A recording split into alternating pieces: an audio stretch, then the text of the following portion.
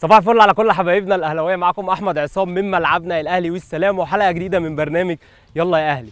ماتش النهارده إن شاء الله هيكون قدام المقاولين العرب ضمن مؤجلات الدوري اللي عندنا كتير جدا. هيتلعب إن شاء الله النهارده الساعة 9 بالليل على استاد بتروس بورتو وبنفكركم بالاستوديو التحليلي على قناتنا مع كابتن أيمن شوقي ونجوم الاستوديو. يلا بينا.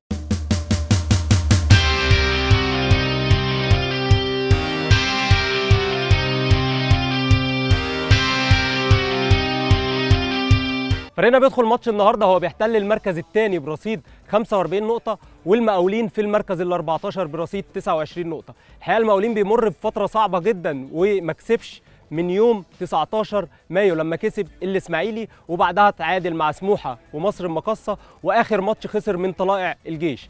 نيجي بقى الماتش بتاعنا اللي كان في الدور الأول كان مباراة صعبة جدا جدا والمقاولين اتقدم علينا 2-0 في الشوط الأول لكن قدرنا نرجع في الشوط الثاني وبنكسب 3-2 الماتش طبعا هيكون صعب رغم الظروف الصعبة اللي بتمر بيها فرقة المقاولين لكن إحنا عندنا ثقة في فرقتنا إن شاء الله إن هم يعملوا ماتش تاني كبير بعد مباراة سموحة اللي كان أداء الفريق فيها كان كويس جدا ومستر بيتسو موسيماني طبعا بعد ماتش بيراميدز لما قال أنا مش هنام بعد الماتش ما كانش بيهزر وكان حقيقي جدا وكل حاجة وعد بيها بانت في ماتش سموحة. ماتش سموحة كان لينا فيه إيجابيات ومكاسب كبيرة جدا. أولها طبعا هو الخروج ب clean sheet.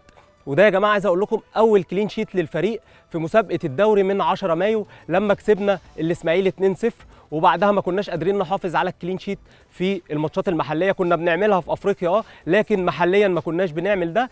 في ماتش سموحة قدرنا نكسب أربعة ونخرج ب clean sheet. أنا بالنسبة لي ده أكبر مكسب للمباراة.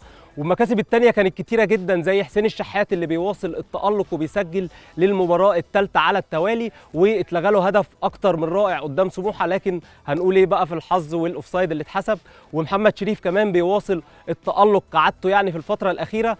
وما شاء الله عليه يعني وصل ل 11 هدف في مسابقة الدوري لحد دلوقتي. مكاسب سموحة كانت كتير برضو بالاطمئنان على علي لطفي الحارس البديل اللي نزل مكان محمد الشناوي مع بداية الشوط الثاني والحقيقة عمل مباراة رائعة وقدر برضه يحافظ على الكلين شيت اللي عملناه في الشوط الأول ونخرج بشباك نظيفة قدام فرقة سموحة القوية اللي كانت بعيدة تماما عن مستواها بعد ما خرجناهم خالص بره المباراة.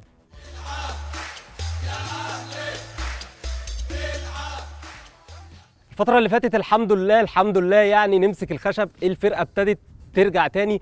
زي ما شفنا محمد محمود رجع للتدريبات الجماعيه بعد فترة غياب طويلة جدا وبنتمنى له إن شاء الله يفضل مكمل وربنا يبعد عنه شر الإصابات إن شاء الله. هو آه مش هيكون موجود معانا النهارده ولا يعني هيحتاج شوية وقت على ما يخش في المباريات لكن الحمد لله هو رجع التدريبات الجماعيه بصورة كاملة وإن شاء الله إن شاء الله يفضل مكمل معانا.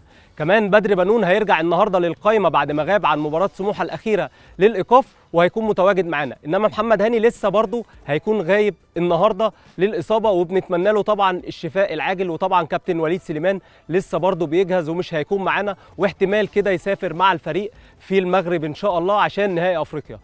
الفريق الحمد لله ماشي بشكل كويس دلوقتي في مسابقة الدوري وزي ما قلنا في ماتش بيراميدز إن التعادل ده جه في توقيت مهم جدا عشان الفرقة تقدر يعني تقف على الأرض شوية والثقة أو يعني حالة اللي الناس وصفتها بالغرور إلى حد ما ما تكونش موجودة قبل مباراة نهائي أفريقيا المهمة يوم 17 إن شاء الله وده اللي شفناه في ماتش سموحة. نتمنى النهارده برضو قدام المقاولين إن إحنا نفضل على نفس الروح دي ونفس القتالية دي ونفس التألق من نجوم الفريق إن شاء الله النهارده ونقابلكم إن شاء الله يوم الأحد قبل مباراة المقصه الأخيرة في الدوري قبل ما نروح بقى للمغرب إن شاء الله يوم 17 ونهائي دوري أبطال أفريقيا والبحث عن النجمه العشره إن شاء الله. ويلا يا أهلي.